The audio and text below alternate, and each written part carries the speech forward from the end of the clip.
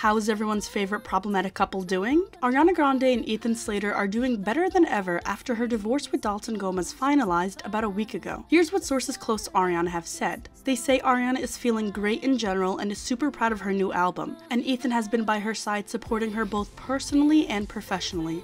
They're looking towards the future and everything that's in store for them as a couple and as individuals. Things have been getting more serious, and with all the drama that came along with the two, getting together and breaking up two marriages, if you forgot, I would hope things are working out between them, or else all of that would have been for nothing. While Ariana and Ethan continue to get hated on, their co-stars have been coming to their defense. Bowen Yang, Ariana and Ethan's Wicked co-star, was on a podcast and he quoted Ariana's song We Can't Be Friends, which some people believe is her acknowledging the rumors around her and Ethan's romance, and said, I can tell you for a fact that what people out there seem to be clinging onto incorrect. He also said, We should probably allow for the possibility that not everything is what it seems. Fans speculate that he's